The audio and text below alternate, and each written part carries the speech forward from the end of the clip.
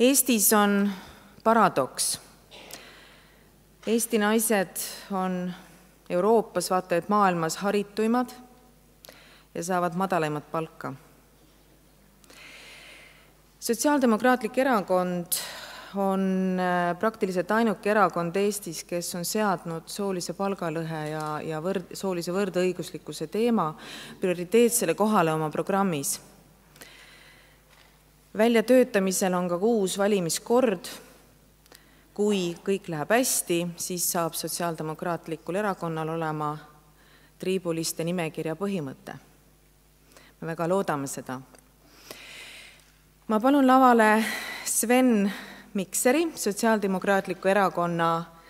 esimehe ja meie kaitseministri.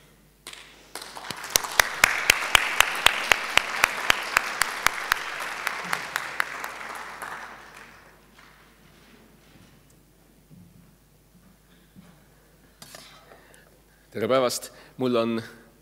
erakordselt hea meel täna pühapäevasel päeval siin suvepealinnas kaunil, kauni kevadise ilmaga olla ja mul on erakordselt äh, suur au äh, olla siin täna esimese, aga kindlasti mitte viimase mees feministina. Äh, ma tänan Mariannet ja Zitat nende väga põhjalike avaettekannete eest, millele on tegelikult nii-öelda probleemi sisu lahkamise mõttes ju väga vähe lisada sest äh, kõik oluline sai juba räägitud. Sotsiaaldemokraatidel tõepoolest on nendel valimistel, mis ees seisavad, Euroopa Parlamendi valimistel, on esimese viie hulgas ja ja ma arvan, et me üle viie, rohkem kui viiele kohale ka nendel valimistel ei, ei püri, sest poliitiline pluralism on ka Euroopa Parlamendi valimiste puhul oluline, et esimese viie hulgas on meil kolm naist ja kaks meest et tõsi, tagapool nüüd see balanss läheb mõnevõrra meeste kasuks, et kokku tuleb seitse-viis vist meeste kasuks. aga äh, ma tahaks ka öelda, et, et Marianne, äh, kes on teinud äh, siis võrdõiguslikkusest ja eriti palgalõhe küsimusest oma sellise südameasja paljude aastate jooksul ja on selle teema kõige vokaalsemaid eestkõnelejaid Eestis, et, et see on minu arust erakordselt, erakordselt oluline, et sotsiaaldemokraatide seas on selle teema juhtiv kõneisik Eestis. aga teisest küljest ma tahan ka öelda, et kui, kui Zita äh, kõneles äh, Euroopa Parlamendi või Euroopa äh, siis sotsiaaldemokraatlike naiste juhina, siis Randel, kes teda tõlkis, näitas, et meie, meie mehed ka ei Eh, ei püri alati esiplaanile ja on valmis mängima ka nii-öelda toetavat rolli, eh, nii et Randel eh, ei saanud võimalust öelda, et ka tema kandideerib sotsiaaldemokraatide nimekirjas Euroopa Parlamenti, et ma teen seda tema eest. aga minnes tõsisemaks, et kui Martin Schulz, nagu Sita juba mainis, ütles, et ta tahab, et tema tütar saaks tulevikus äh, nautida samu võimalusi, mis on tema pojal, siis ma pean ütlema, et mina isiklikult olen ilmselt veel motiveeritum, kuna mul on kaks tütart.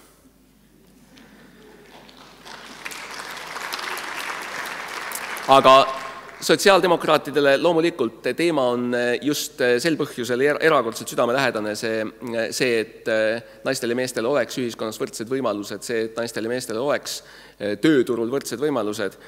on, on, on meile oluline sellepärast, et me oleme ju alati olnud Eestis see erakond, kelle jaoks tegelikult kõige suurem vara üldse ei ole mitte see, mida, mida kuhjatakse kuhugi äh, pangaseifidesse, vaid kõige suurem vara on, on inimene. ja äh, kui me vaatame näiteks äh, maailmakaardil nende riikide poole, kelle kelle mm, valitsuste käsutada on kõige suur, suuremad äh, sellised rahalised ja materiaalsed ressursid, noh näiteks Saudi Araabia, kus musta kulda voolab otse maa seest ja ja, ja, ja, ja kulda voolab kohvritesse, nii et ei, ei, ei jaksa neid kohvrigaasi pärast kinni litsuda, et siis ometi, kui me mõtleme selle peale, et miks see, see riik, kes võiks ju olla maailmas ka nii-öelda sotsiaalmajanduslikult arengult juhtivaid riike, seda teps mitte ei ole, ja põhjus on ilmne, põhjus on see, et tegelikult pool kõige hinnalisemast ressursist, eh, inimvarast, on tegelikult eh, blokeeritud normaalsest osalemisest tööturul, eh, normaalsest osalemisest ühiskonna juhtivate funktsioonide täitmiselt see pool, tegelikult enam kui pool, on naised Eestis kindlasti, ma ei taha, ma ei taha kindlasti võrrelda äh, soolist võrdõiguslikkust Eestis äh, olukorraga Saudi Araabias, aga ma arvan, et, et see tõdemus, et vaatamata nii-öelda kõigile muudele väga headele eeldustele ei suudeta neid realiseerida põhjusel, et, et äh, naistel ei ole loodud ühiskonnas võrdseid võimalusi meestega, et see peaks ka meil kogu aeg silme ees seisma. Sama inimressursi küsimus Äh, kui ma vaatan kaitseministrina äh, meie demograafilist olukorda ja me teame, et, et äh, meie eesmärk on enam kui kolm tuhat ajateenijat kutsuda igal aastal kaitseväeteenistusse ja kui me vaatame nii-öelda seda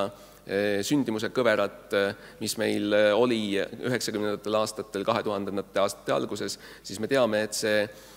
kogu nii-öelda värbamistiik muutub üha, üha kitsamaks, üha väiksemaks ja seetõttu ka meie Kaitsevägi üha rohkem vaatab selle, selle poole, et, et meil on alakasutatud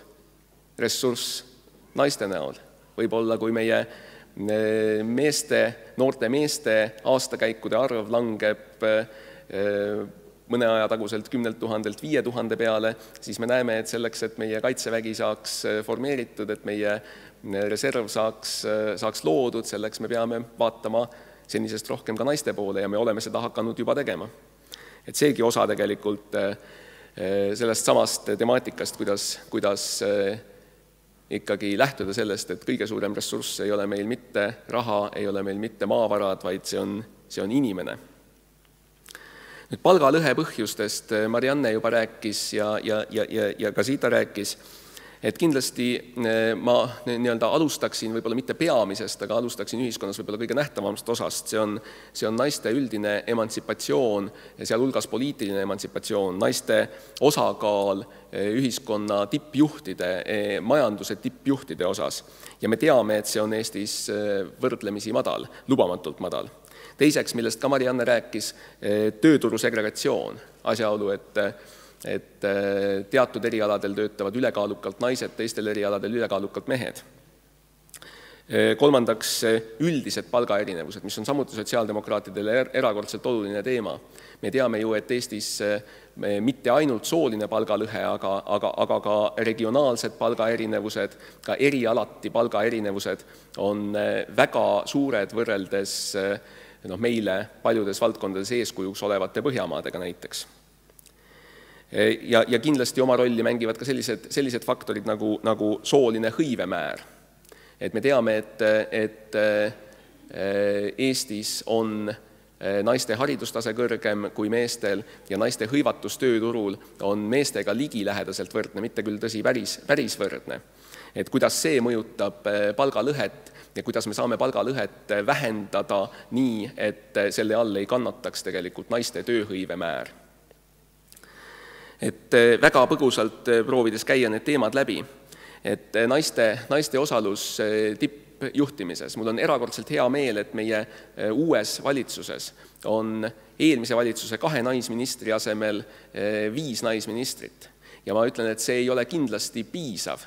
aga ma loodan, et kui me sama sammuga suudame jätkata ja kui järgmises valitsuses on, on veel, lisandub veel kolm naisministrit ja neid on näiteks neljateistkümnest kaheksa, et siis me oleme juba peaaegu kohal aga, aga eh, me kindlasti kõik või vähemalt paljud meist mäletame seda vaidlust, mis, eh, mis mitte väga pikka aega tagasi toimus parlamendis ja kus kahjuks ka tänased koalitsioonipartnerid olid erineval poolel rindejoont. kui me rääkisime Euroopa, Euroopa nii-öelda soovituslikust regulatsioonist, mille kohaselt siis börsiettevõtete nõukogudes võiks, võiks nende nõukogude komplekteerimisel Eh, muude parameetrite võrdsuse korral eelistada alaesindatud sugu. ja, ja, ja, ja toona kõige vihasem vastuväide sellele oli, et, et punkt üks, et jah, isegi kui probleem on olemas, siis selle lahendamiseks võiks olla mingisuguseid muid pehmemaid, pehmemaid meetmeid. Ja eh, punkt kaks, et tegelikult on selline meritokraatia on ikkagi parem, ehk et eh, inimese sugu ei tule vaadata, tuleb eelistada siis eh, inimest, kes oma kvalifikatsiooni, oma ettevalmistuse ja kompetentsi poolest on parem. Ja lõpuks jõudis see vaidlus sinna, ma küsisin, et hea küll, et kui riik ei taha reguleerida, tahab muuta väärtushinnanguid, ei taha kehtestada kõvu regulatsioone, et siis miks riik ise eeskuju ei näita, näiteks riigi osalusega või riigi omanduses olevate äriühingute nõukogude komplekteerimisel. Ja vastuseks ma kuulsin taas, taaskord seda, seda meritokraatlikku argumenti, et ei, et me ei vaata üldse inimeste sugu, me valime need, neid, kes on parimad. Küsimuse peale, kui palju näiteks Estonian Airi nõukogus on või on aja jooksul olnud naisi selgus, et äh, need äh, parimate äh, erialaste teadmiste ja kompetentsi põhjal valitud inimesed on olnud seni eranditult mehed. et kogemuse põhjal nii-öelda vaadata, vaadates reaalseid majandustulemusi ettevõtte puhul, on väga raske uskuda, et et naistest koosnev nõukogu oleks suutnud seda ettevõtet suunata halvemini.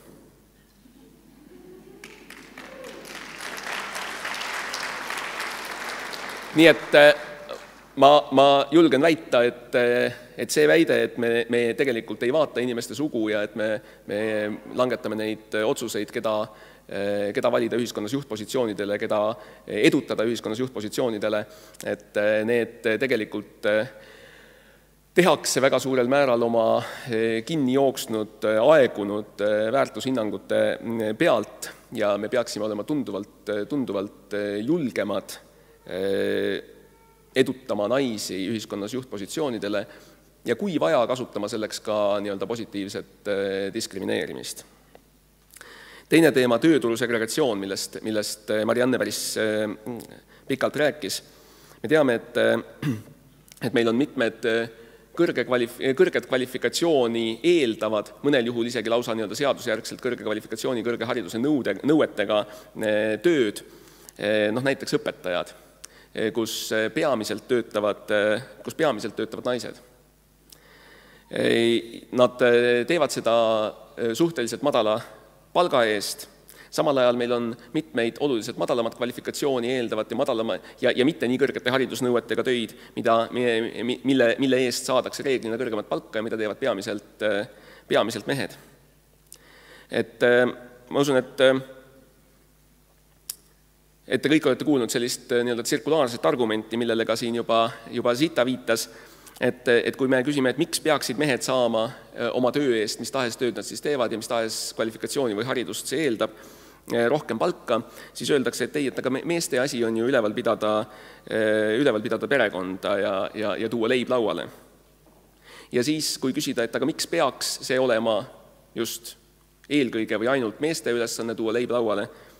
Öeldakse, et ei, et aga, aga, see on ju loomulik, sest nemad saavad ju rohkem palka. ja kui me vaatame tegelikkust ja ma usun, et Helmen, eh, kes on, kes on kogu oma töise elu tegelenud sotsiaalteemadega, võib seda kinnitada, et kui, kui tegelikult nii-öelda läheb, läheb perel raskeks, kui tegelikult läheb olukord keeruliseks, näiteks sünnib peresse puudega laps, siis reeglina on see just see nii-öelda eeldatav leivateenija, see mees, kes laseb jalga ja jätab kogu, kogu koorma naise, naise õlule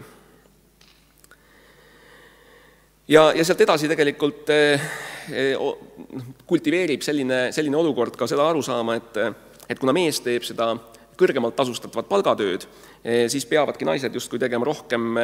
neid mittetasustatavaid koduseid töid ja, ja täitma sellist laste kasvatamise ja majapidamise funktsiooni.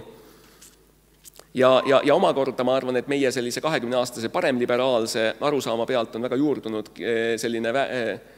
väär, mõnevõrra väärastunud arusaam, et, et tegelikult igasuguse töö väärtust näitabki selle eest saadav tasu äh, ja, ja, ja, ja kuna siis nende koduste tööde eest tasu ei maksta, siis need ei ole järelikult ka eriti, eriti väärtuslikud äh, ja, ja ühiskonna silmis eriti, eri, eriti tunnustamist vajavad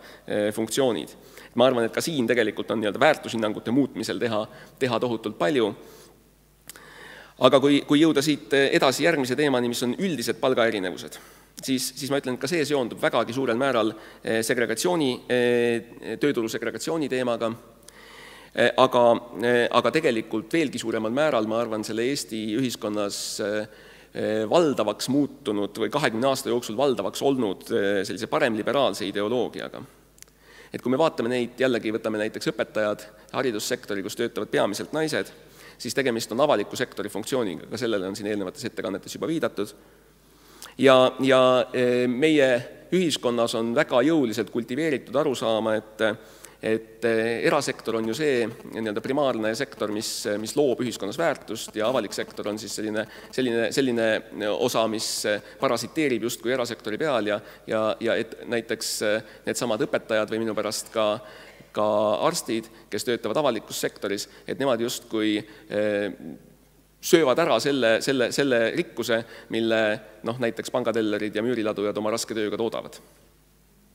ja ma arvan, et siin on riigil tegelikult päris palju teha nii väärtushinnangute kujundajana kui ka regulatsioonide eh, muutjana. et tegelikult eh, murda see, see, see meie teadvusesse nii-öelda sügavalt sisse juurdunud arusaam, et, et avalik sektor on millegi poolest halvem või et, või et näiteks õpetajad loovad vähem väärtust kui pankurid.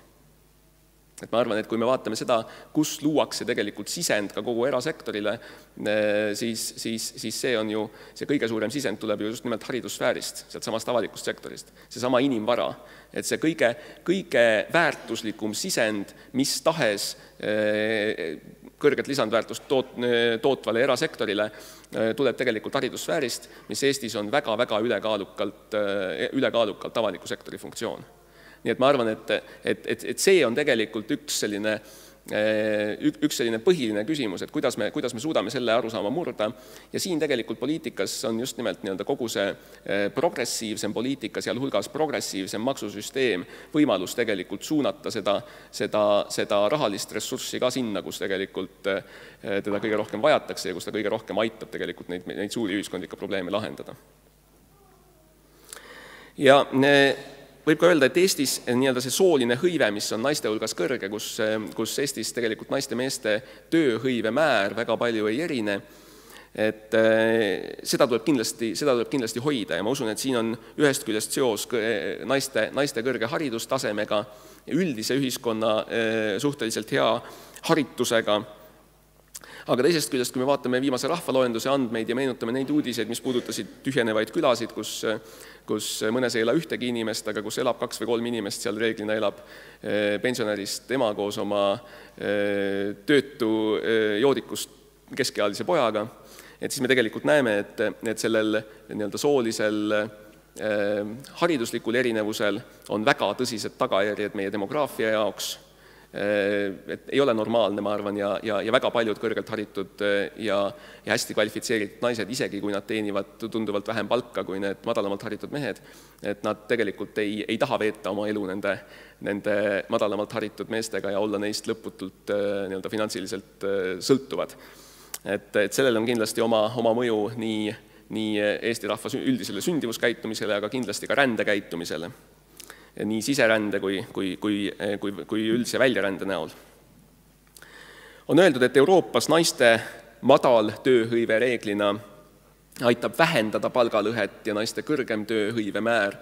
suurendab palgalõhet. ma arvan, et see ei saa kindlasti olla vabanduseks palgalõhele. et jällegi see näitab seda tööturu segregatsiooni, kus kus naised töötavad madalamalt tasustatud töödel ja kus võib olla ka näiteks selliste regulatsioonide muutmine nagu, nagu Äh, miinimumpalga tõstmine ühest küljest vähendab palgalõhet, aga teisest küljest paneb surve kindlasti nendele, nendele sektoritele, kus töötavad miinimumpalgaga töötajad ja, ja, ja vähendab hõivet nendes sektorites ja kui seal töötavad peamiselt naised, siis ta, siis on risk, et see vähendab naiste, naiste tööhõivet ja võib suurendada naiste tööpuudust. et see on teema, millega, millega tuleb tegeleda, aga ma arvan, et see on teema, millega tuleb tegeleda jällegi nii-öelda progressiivselt ülevalt poolt ja vähendada üldisi palga, palgaerinevusi et äh, ma usun, et, et äh, ei pea olema sotsiaaldemokraat, et, et, et saada aru, et kui, et kui me ütleme, et turg paneb kõik paika, et Eesti Energia juhatuse esimehe äh, töötasu määrab turg ja, ja, ja, ja kui turg määrab selle nii kõrgeks, et see peab olema üle, üle kümne tuhande euro kuus, siis nii olgu, ja samal ajal turg paneb paika ka kella üheteistkümneni õhtul tööl oleva siis kaubaketi kassapidaja töötasu Äh, kui seda tööd teeb ka näiteks äh, kahte last kasvatav üksik, üksikema ja et kui see turu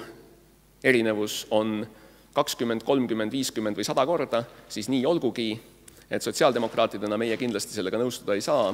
Ja me ütleme, et siin tegelikult äh, see panus, mille need inimesed ühiskonnale, ühiskonnale oma tööga annavad, võib olla erinev, aga see erinevus ei ole kindlasti sadades kordades. ja, ja, ja, ja kui see nii ei ole, siis tegelikult peab riik olema valmis ka võtma või panema nende õlule, kes seda kanda suudavad, suurema koorma, natukene suurema koorma, selleks et neid, kes peavad elama täna töises vaesuses, sealt välja aidata. sotsiaaldemokraadid kindlasti on valmis seda tegema. Nii et lõpetuseks, mida teha palgalõhega? me teame, et Eestis on Eurostati järgi Euroopa suurim palgalõhe, aga samas me iga päev kuuleme väiteid, et esiteks sellist, sellist asja nagu palgalõhe pole olemas, et see on mingi heaoluühiskondadest siia imporditud moodne väljamõeldis teiseks väidetakse, et, et isegi kui see palgalõhe on olemas, siis see on tegelikult hoopis hea, sest see noh, näiteks kaitseb traditsioonilist peremudelit või, või veel midagi, midagi muud taolist. Ja väidetakse ka seda, et, et kui see palgalõhe on ka olemas, siis ta on objektiivne ja paratamatu ja võitlus sellega on nagu võitlus tuuleveskitega. nii et ma arvan, et eh, meil on kolm ülesannet, esiteks eh, teha ühiskonnale ja arvamusliidritele selgeks, et palgalõhe on olemas, see on fakt seda probleemi tuleb tunnistada. teiseks, et palgalõhe eh, on halb, olemuslikult halb ja Euroopa suurim palgalõhe on asi, mille, mille üle Eestil tuleb häbi tunda ja mille likvideerimiseks Eestis tuleb töötada. ja kolmandaks, et palgalõhe olemasolu ei ole objektiivne ja paratamatu, et see on likvideeritav, et seda tuleb teha kahel viisil, esiteks töötades ühiskonna väärtushinnangutega viies, kui soovite, ühiskonda rohkem sotsiaaldemokraatlikku, progressiivset arusaama sellest, kuidas ühiskond töötab ja, ja, ja, ja toimib. E, aga teiseks tuleb seda teha ka regulatsioonidega, kas või näiteks sellest, et kunstlike, minu, minu pärast kunstlike e, meetmetega e, edend-, edutada alaesindatud sugu ühiskonna juhtivatesse funktsioonidesse pürgima ja sinna ka reaalselt jõudma seda on võimalik teha, need regulatsioonid on, on, on, on maailmas toiminud ja reeglina on nii, et kui need regulatsioonid on mõnda aega toiminud, siis vajadus nende järele tegelikult lakkab olemast. Ja ma usun, et, et tegelikult äh, on täiesti äh, võimalik selle väärtushinnangute muutmise kõrval, mis on aeglane protsess, mõnda tulekahju kustutada ka nii-öelda plahvatusega. Nagu ütles hiljuti Marek, kes varsti tuleb lavale siin modereerima üht plokki, et kustutada tulekahju plahvatusega selles mõttes, et, et kui me, kui me mõne regulatsiooni kehtestame, siis noh, näiteks kui me omal ajal kaotasime Eestis surmanuhtluse või kui me või kui maailmas siin Euroopa riikides omal ajal aastasadu tagasi juba keelustati orjakaubandus, et siis mõne aja möödudes juba vaidlus, väitlus nende nende teemade üle tundub äh, pentsiku anakronismina. Aga enne, kui see nii-öelda julgus saabus, et sellist otsust langetada ühekordse otsusena, enne seda oli, äh, vältas kuid, aastaid, mõnikord aastakümneid äh, selline vinduv ja, ja, ja, ja visisev debatt, kus tegelikult üks peamisi argumente oli, et võib-olla ei ole me veel selleks valmis. et mõned, mõned asjad tuleb teha ühe korra, ühe, ühe otsusega ja julgelt ja noh, näiteks jah, nagu, nagu öeldud, see eh, börsiettevõtete nõukogudesse eh, siis mitte sookvootide kehtestamine, aga nõue, et et muude, muude parameetrite võrdsuse korral alaesindatud eh, sool oleks, oleks eelis, nii-öelda väike positiivne diskrimineerimine, aga ka näiteks Marianne poolt räägitud palgaandmete läbipaistvus, sest ma arvan, et et see, et me, et, et tegelikult ühiskonnale on näha, kui palgasaajaid diskrimineeritakse nende soo tõttu ei saa isegi Eesti võib-olla selles täna, täna liiga patriarhaalses ja ja, ja, ja sooliselt vähe tasa, tasakaalustatud ühiskonnas teha, teha au ühelegi, ühelegi palgamaksjale, ühelegi ettevõtjale. nii et eh, kokkuvõttes ma tahaks öelda, et eh, palgalõhe on olemas, sellega tuleb võidelda, sellega on võimalik võidelda ja seda on võimalik võita. ja eh, kui me tahame seda Eestis teha, siis kes, kes veel, kui mitte Eh, sotsiaaldemokraadid, kui me tahame seda Euroopas teha, siis kes veel, kui mitte sotsiaaldemokraadid, ma olen kindel, et meie tublid naised Euroopas eh, suudavad selle, selle probleemi lahendamise eest seista, Marianne, Marju, eh, aga ka meie tublid mehed, noh näiteks Randel, suudavad, kes on, kes, kes on ka tegelikult ju väga paljus veendunud võrdõiguslikkuse apologeedid ja eestkõnelejad, et me suudame selle üheskoos, üheskoos ära teha ja kui te, kui te tahate, et see saaks tehtud, siis esimene samm selleks on tulla juba kahekümne viiendal mail valima ja, ja anda oma hääl sotsiaaldemokraadile ja, ja kindlasti mitte unustada seda, et, et palju, palju asju saab teha Euroopas, aga, aga väga palju asju tuleb teha ka siin Eestis ja ja, ja, ja ka Eestis on sotsiaaldemokraadid need, kes, kes parlamendis ja valitsuses kõige kindlamalt äh, palgalõhe vastu ja selle likvideerimise eest seisavad.